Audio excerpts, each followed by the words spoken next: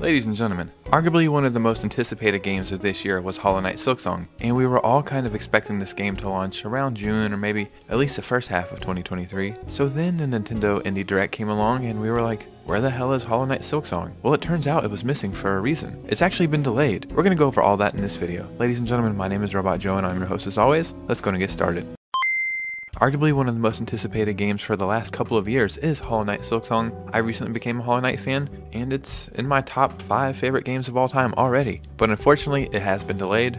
Uh, let's hear from Team Cherry themselves. This is from Matthew Griffin, which works at marketing and publishing for Hollow Knight Silksong and is part of Team Cherry. Hey gang, just a quick update about Silksong. We had planned to release in the first half of 2023, but development is still continuing. We're excited about how the game is shaping up, and it's gotten quite big, so we want to take the time to make the game as good as we can. Expect more details from us once we get closer to release. This is kind of coming out of nowhere, and I'm sure everybody was questioning once a Nintendo Indie Direct hit, where the hell is Hollow Knight Silksong? And if I can speculate, just for a moment, they're still developing this game. I'm pretty sure the original release date of this game was like 2019 or something, so this game must have even been expanded more and more. There is rumor that there might not be a Nintendo Direct this summer around June, which it normally is. We do know Nintendo is having an event in Seattle, I believe in September, kind of like their own E3.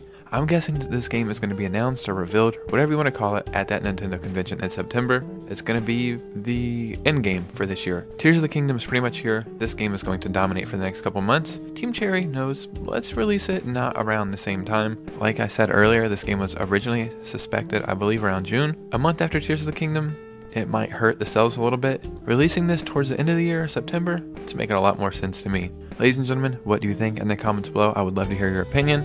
Are you a fan of Hollow Knight? Did you expect this game to get delayed? Do you care? Anything you want to talk about, drop it in the comments below. If you enjoy gaming news, gaming stories, and Nintendo Switch content, then you are in the right place and make sure to like and subscribe on the way out. But you guys know me, I'll see you with a new video soon. Peace out.